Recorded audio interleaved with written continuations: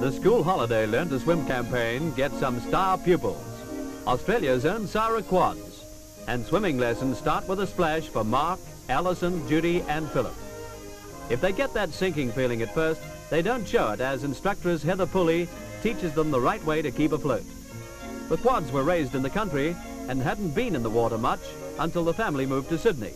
They turned 10 last August and decided they'd learn along with their schoolmates this Christmas.